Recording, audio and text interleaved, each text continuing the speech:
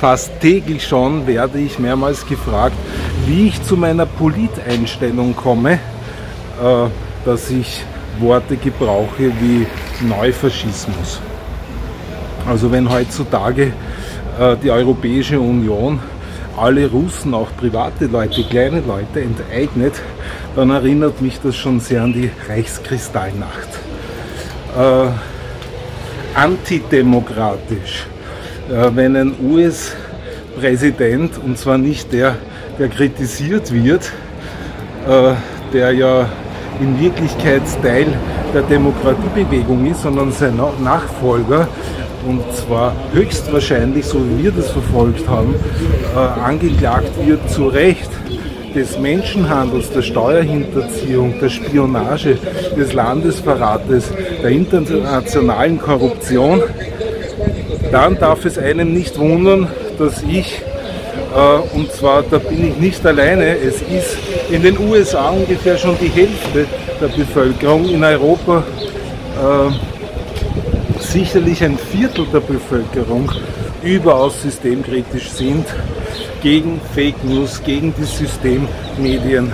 Also dass dieser besagte Präsident angeklagt ist, und zwar nicht von irgendjemandem, sondern vom US-Parlament, vom Repräsentantenhaus des Menschenhandels und so weiter. Davon hat man in den europäischen Systemmedien nichts gelesen, kein einziges Wort. Also wenn das nicht Faschismus ist, also von gleich gestriegelt oder gleich gebügelt, dann weiß ich nicht.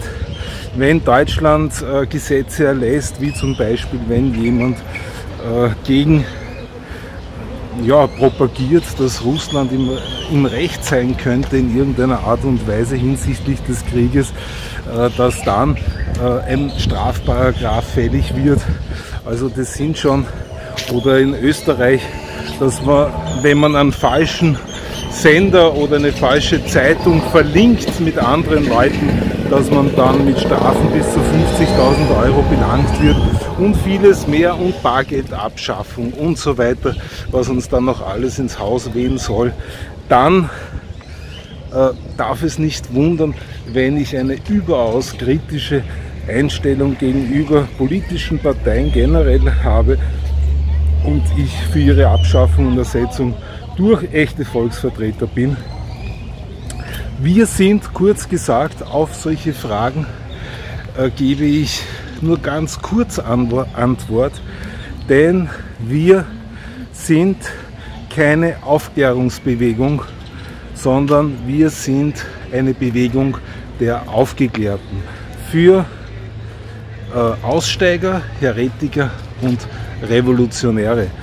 Ähm, geht es um Aufklärung, dann verweise ich gerne auf andere, die das viel besser können, zum Beispiel im YouTube. Man findet dort äh, Daniel Ganser aus der Schweiz, man findet äh, Darius, man findet zum Beispiel auf Telegram Lion Media, man findet Gameszone, äh, ein Aufklärer, der schon lange nach, nach Kanada geflüchtet ist wegen äh, Systemkrieg. Äh, Andreas Popp, äh, der ein bisschen dramatisiert, aber ganz gute ähm, Analysen vorlegt und so weiter und so fort.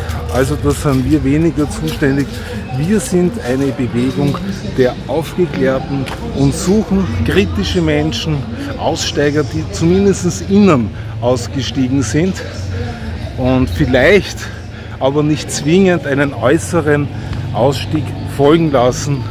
Und wir sind die Bewegung, die, die eine Bewegung und eine neue Funktion des Guten, eine Bewegung und neue Funktion der höheren Demokratie und eine Bewegung und neue Funktion der Religion oder Spiritualität, basierend auf Ritual bzw. Experiment und nicht auf Dogmen oder irgendwelchen Fundamentalismen.